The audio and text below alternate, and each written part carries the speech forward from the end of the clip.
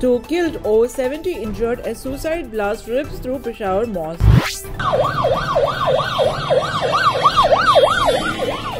Two police officers embraced martyrdom while over 70 people were injured in a suicide attack inside a mosque in Peshawar's police lines area on Monday. The explosion took place inside a mosque in police lines and injured nearly 50 people who are being shifted to Lady Reading Hospital. Rescue officials revealed that the blast took place during Zohar prayers as the suicide bomber was standing in the front row.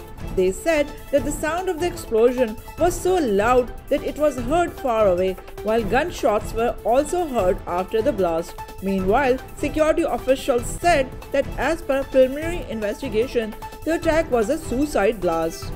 हर मुख्तलिफ़ news update के लिए I news 365 को subscribe करें और हमारे साथ जुड़े रहने के लिए नोटिफिकेशन बेल को क्लिक करना ना भूलें ताकि हर खबर रहे आपकी नज़र में